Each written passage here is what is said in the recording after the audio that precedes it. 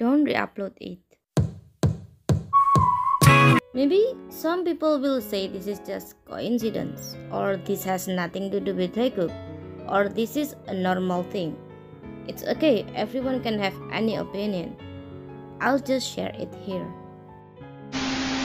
Last Saturday, Jungkook's brother opened his own brand store in Japan.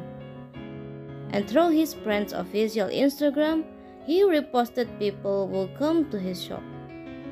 Interestingly, lots of armies came. Most of them are Jungkook stan, of course. But another interesting thing is the account that Jungkook's brother reposting is also many of Taehyung stan. And it even looked like a Taekook stan too. Isn't it interesting? Jungkook's brother reposted Jungkook stan, Taehyung stan, and Taekook stan who posted his brand shop in Japan. I don't know what you think, but I don't think it's possible that Jungkook's brother doesn't know Taekook or Vkook.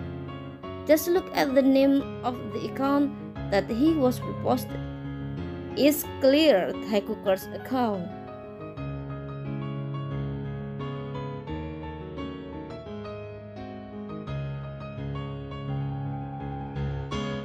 So, Jungkook's brother knows and doesn't mind people ship Taekook love because he reposted it.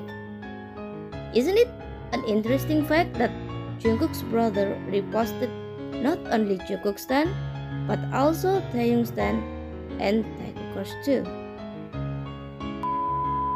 And there is one more thing. Whether this will be considered as another coincidence or not. In his last update, Taehyung shared Yeontan's current status. But coincidentally, only two hours apart, Jungkook's brother also shared Bang Sung's current status. Coincidence? However, these three people clearly love their babies. And however, the fact that Jungkook's brother reposted Taekook's account that clearly have name of Taekook Stan, it's really interesting for me. What do you think?